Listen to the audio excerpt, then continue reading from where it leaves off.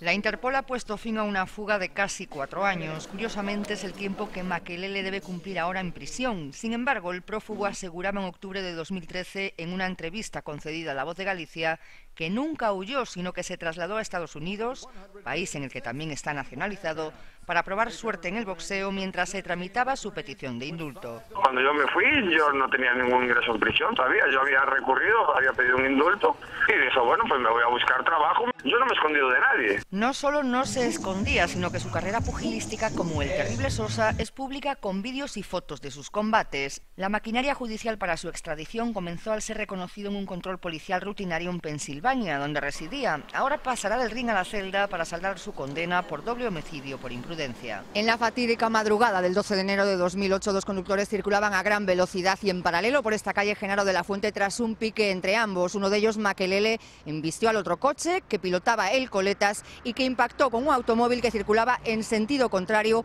y en el que viajaba un matrimonio. Ambos fallecían en el acto. Maquelele siempre ha mantenido su inocencia. Lo que sí tengo claro que no voy a cumplir es una condena injusta. Yo no fui el culpable de ese accidente. El culpable del accidente está en prisión. Que chocó contra las víctimas del accidente fue el otro chico, fue el que iba a 110 kilómetros por hora. Ese chico fue el que dio positivo en alcoholemia. Su madre, que reside en el barrio de Teis, prefiere mantener silencio con respecto a un asunto que ha pillado por sorpresa a sus vecinos. Está en Madrid, ay, no sabía. Pues yo le pregunté el otro día, le pregunté, y me dijo, todos son problemas. Al margen de la actual condena, Jorge Luis Sosa también tiene pendiente otra causa por un accidente de tráfico con lesiones en Ferrol.